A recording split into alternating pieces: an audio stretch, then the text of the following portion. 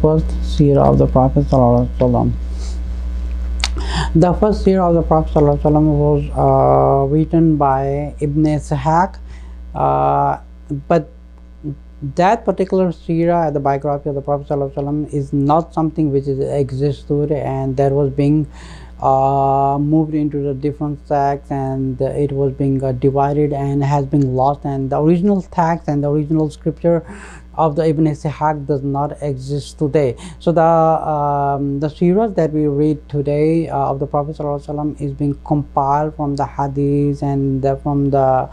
uh, Ibn Kathir, the book of uh, Al Bidayah wa Nihaya, and uh, some other books which was being compiled uh, all together, and they come up with the the seerah of the Prophet. But the original seerah, was the, like very first time was written by it was Ibn Ishaq which does not exist today. So the seerah that we read today, it is being all compiled from the the books of uh, history like a Bidayah wa Nihaya from the Ahadith books and whatever is being existed from the older uh, from the older versions of old books that was being found in the history and they try to put it together and try to take out the what is authentic and just compile together and as there are like many many books right now from the authentic scholars that being read. It is being compiled from the history books but the original scripture that was being uh, written by was Ibn Ishaq. It does not exist today. It's not in its uh, original form